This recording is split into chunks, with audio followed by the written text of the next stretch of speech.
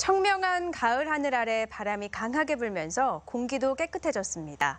내일은 바람이 잦아들겠는데요. 내륙을 중심으로 일교차가 크게 벌어지겠습니다. 송혜림 기상캐스터입니다.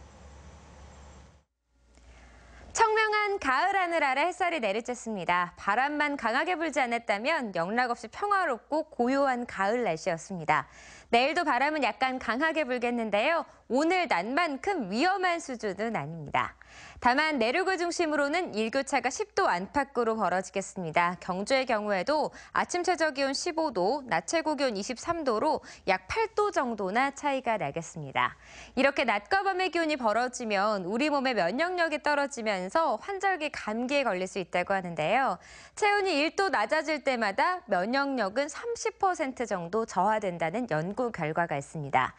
마늘이 우리 몸에 열을 내면서 면역력을 높이는 음식이라고 하니까요. 환절기 음식 잘 챙겨 드시고요. 옷차림에 신경 쓰셔서 건강하게 보내시기 바랍니다. 자세한 내일 날씨 알아보겠습니다.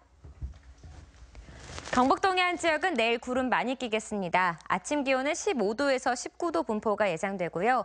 낮 최고 기온 울진이 21도, 영덕 22도, 포항과 경주는 23도입니다.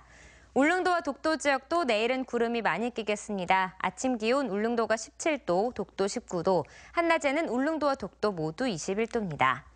태풍이 지나면서 동해 대부분 해상에 풍랑특보가 발효됐었는데요. 내일까지 바람이 매우 강하게 불고 바다의 물결도 최고 4m로 높게 일겠습니다.